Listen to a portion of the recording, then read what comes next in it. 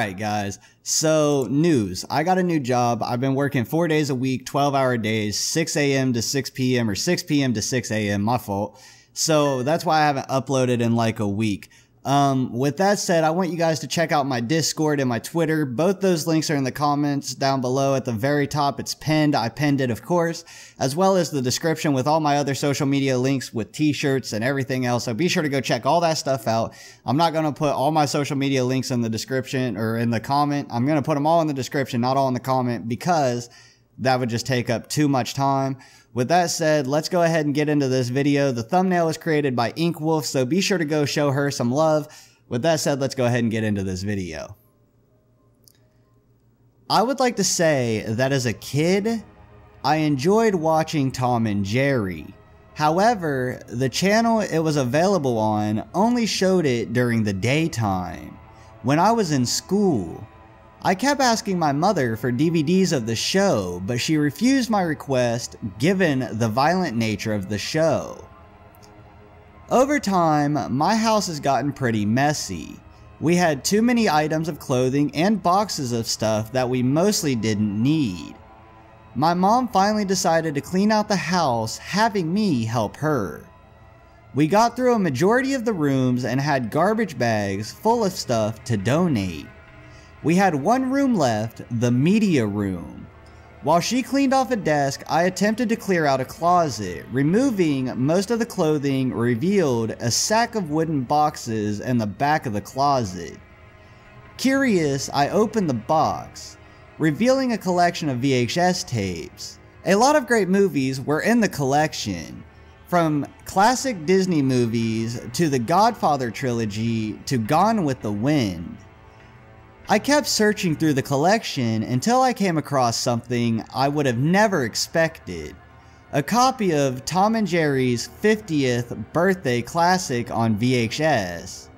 Surprisingly, the copy was unopened, still in its original case and plastic wrap. I asked my mom, Hey, where did this come from? I don't remember you buying this. My mom then got a shocked expression on her face and hung her head. She proceeded to explain that it was a gift from my aunt that was supposed to be given to me on my 7th birthday. I asked why I didn't ever receive this gift. My mom then explained that shortly before my birthday, my aunt was involved in a robbery she elaborated that two crackheads entered her home and started taking some of her belongings. My aunt woke up and noticed two men wearing sheets over their head. The men ran to her and beat her senseless.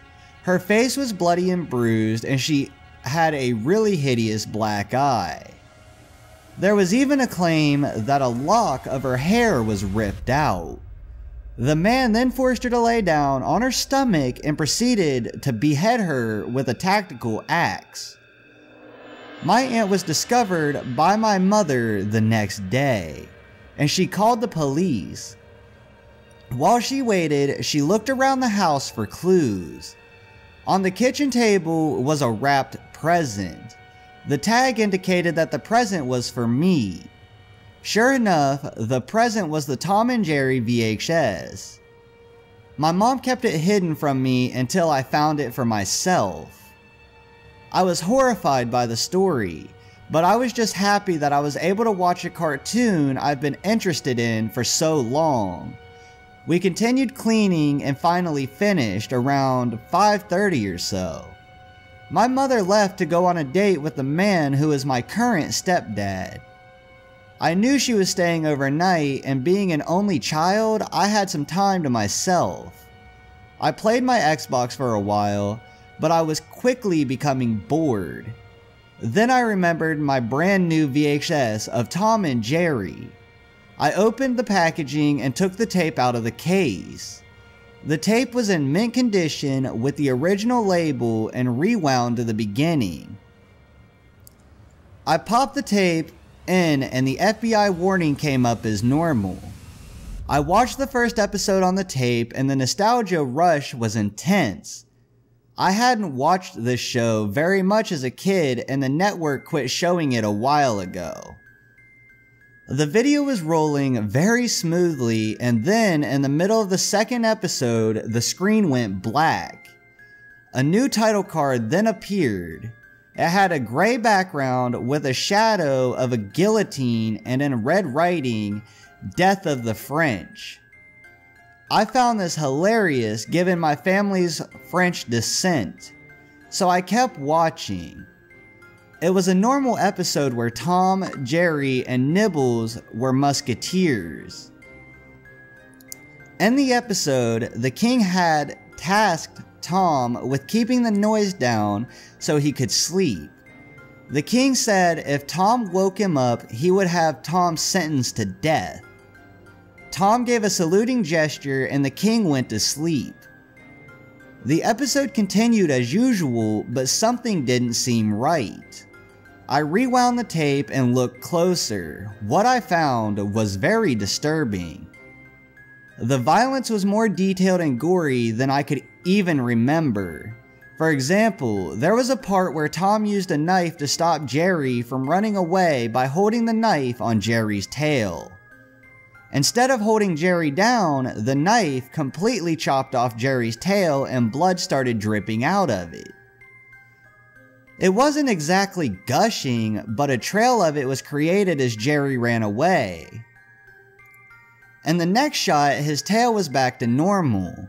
Events like this kept happening with things like Tom's tail getting chopped off, Tom's eye being gouged out with a cork, and even Tom being split in half, showing photorealistic insides. At the end of the episode, the king is awoken and Tom is taken for execution. The next shot showed Jerry and Nibbles walking down an old fashioned French street eating sausages and cheese when they hear the sound of a crowd chanting. The camera goes to Jerry's point of view as he looks above at a guillotine. I was told by a friend that normally you only saw the blade come down and heard the sound of it banging against the wood. Then it cut back to the mice. However, this time the blade didn't fall. Instead, the shot went to Tom being brought to the guillotine by two guards and the king. The crowd kept yelling, and I even heard phrases such as, kill him, and we want blood. I could then see Tom physically becoming enraged and started resisting the guards, kicking one of them in the knee. The crowd went insane, yelling even louder, and the king yelled, End it, do it now. Two men then appeared dressed as old fashioned executioners, masks and all. They ran up to Tom and proceeded to beat him into the ground.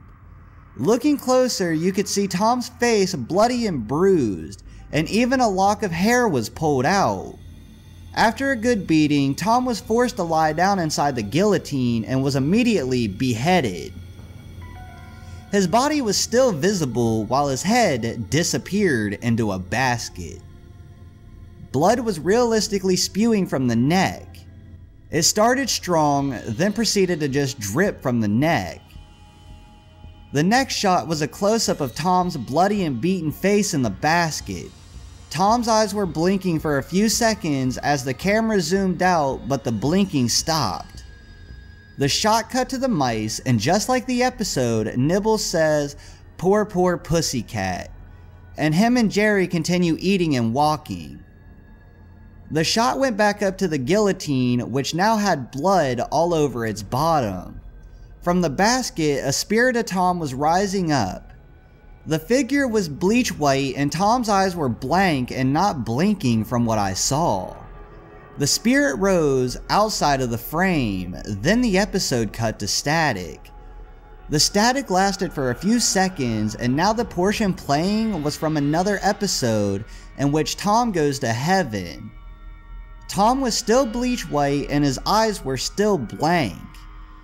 It cut to the portion where Tom tries to sneak past the ticket collector. The ticket collector catches Tom and calls him out on the horrible thing he's done to Jerry. The ticket collector says that Tom doesn't receive forgiveness from Jerry. He will go to hell. When the ticket collector said that Tom would go to hell, the ticket collector's voice turned very deep and demonic. The voice gave me chills just listening to it. The tape then went black, and I could hear the sound of what might have been Tom asking Jerry for forgiveness, but sped up. I could then hear the sound of a bell ringing very loudly. Then the demonic ticket collector said, I'm sorry, Tom. An image finally showed Tom falling down into a pit. He was still bleach white, but this time his eyes were red with no pupils. Finally, Tom lands in a cauldron and he does a very falsetto spine chilling scream. The devil, aka Spike the Bulldog with horns, starts laughing, but his original laugh was deepened and slowed down. The devil also used the prong end of the pitchfork to shove Tom deep into the cauldron. Instead of pushing Tom in, however, the pitchfork stabbed Tom and all of the holes created by the pitchfork were visible. Tom also appeared to have his skin progressively burned and peeled off revealing realistic muscle and tissue underneath. I rewound the tape to the beginning and noticed that the episode started at 1134. At this point, I had to stop the video. I immediately ejected the tape and placed it in the case. I placed the case on top of the desk in the media room. I had trouble sleeping that night, so I stayed up the rest of the night playing League of Legends, hoping it would get my mind off the horrifying childhood ruining tape. At about 3 a.m., I attempted to sleep again and succeeded. The next day, I decided to find the tape so I could finish the footage just out of curiosity. I looked on the desk and all around the media room, but I couldn't find it. I found out that my mom donated the tape along with all the others to Goodwill. I drove to the Goodwill and it was already sold. It was sad that I lost such a rare tape. Fortunately, I was able to distract myself with my video games and working on projects for school that I was safe from nightmares. However, my sleep cycle was severely disturbed for about two months. I was very tired and my grades dropped from A's to B's and C's. Normally, I wouldn't find something like this at all disturbing. But it was very disturbing and creepy how similar Tom's death was compared to my aunt's death. The fact that the episode was set in France, my family's country of origin, didn't help to suppress the memories. I still picture Tom's death in my head and get chills from it. My mom doesn't believe me, but I am still hunting for the tape. When I get it back, my mom will see the horror for herself. Alright guys, I hope you guys have enjoyed this video. If you guys have, be sure to drop a like, hit that subscribe button down below with the notification bell on to be sure to be see all my new videos that I release. Also, be sure to leave a comment in the comment section down below telling me what else you guys want to see and what other videos you guys would like to see.